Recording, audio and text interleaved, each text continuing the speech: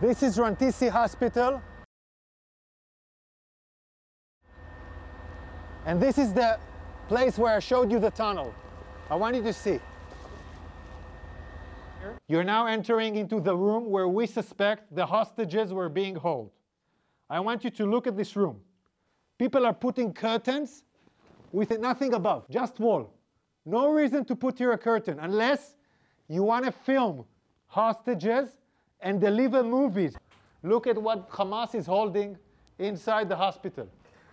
I want you to understand this kind of gear is a gear for a major fight.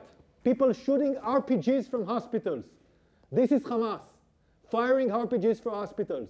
The world has to understand who is Israel fighting against. They were all used in the massacre of the 7th of October. They even have bullets in this motorcycle. So they came back from the massacre on the 7th of October. We can see the ventilation air that was done improvisely to this area. And we can see infrastructures that was built in here says we are in an operation. The operation against Israel started in the 7th of October.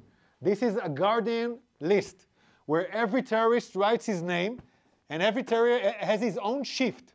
Next to a house of a terrorist, this is one of the senior terrorists who is the head of the operational naval operations that led the raids into Israel. It's 200 yards from the hospital, the hospital of Rantisi. Next to his house, there is a tunnel. The tunnel is let down more than 20 meters down.